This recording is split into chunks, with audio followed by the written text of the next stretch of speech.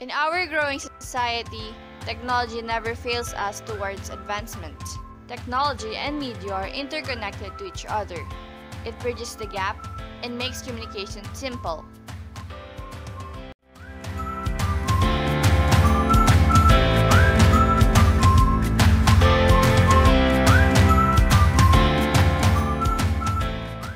According to Lineman Son, she defined 21st century learning as 20th century education with better tools.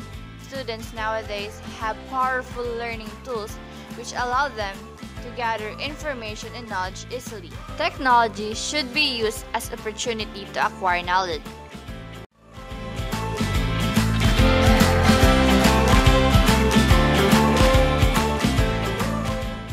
Students find information through internet. Internet is a tool which enables us to have an instant global communication and access to information. For professional setups, teachers nowadays are monitoring and assigning tasks using virtual classrooms.